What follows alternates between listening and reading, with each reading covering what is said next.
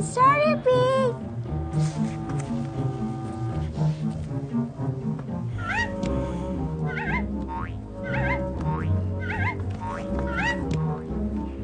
Hindi na ako magiging salbahe. Maniwala ako. Mabait ka kasi. Yung kumuha sa akin, binigay ako sa masalbahe pa sa akin. Ayoko sa kanila. Bad sila. Matatanggap mo po ba ako?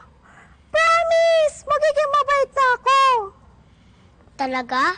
Oo, Pexman! Pati na tayo, ha? Hmm, isipin ko muna.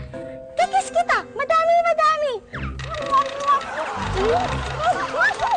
Ay, salamat. Tapos din ang trabaho. Oh. Akala ko ba ayaw mo na kay Shirley? Ba't nandyan pa yan? Nagsusorry po siya eh. Ah, ganun. O sige, pangatawanan mo ng buhay ang BFF mo. Basta siguraduhin mo lang na ah, hindi ka iiyak-iyak pagdating ng araw, ha? Dahil dyan kay Shirley. Speaking of iyak, tumiyak. Mali yung ginawa natin. Ha? Hindi ka na lang problema.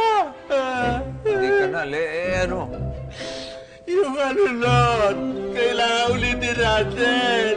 Yeah.